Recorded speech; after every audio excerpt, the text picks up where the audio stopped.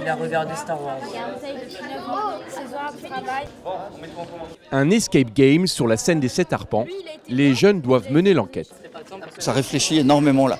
Ils ont à leur disposition une quinzaine d'indices dans le but de trouver le coupable d'un meurtre qui a eu lieu dans un hôtel. 9, 1, 2. Ah oui, Et là, c'est bon. Voilà. On a la clé. J'aime bien ça pour le, le suspense et le fait de chercher des indices un peu partout. Chaque été en juillet, l'espace jeunesse passe en mode centre aéré et accueil de mineurs, des pré-ados et des ados, et le programme est bien chargé.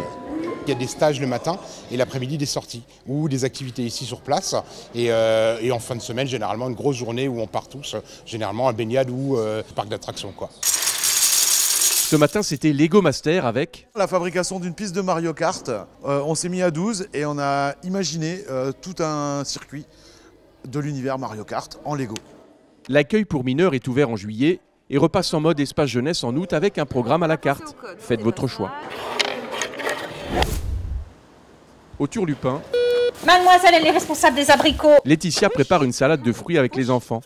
Au programme, plein d'activités, des sorties, et c'est ouvert jusqu'au 18 août.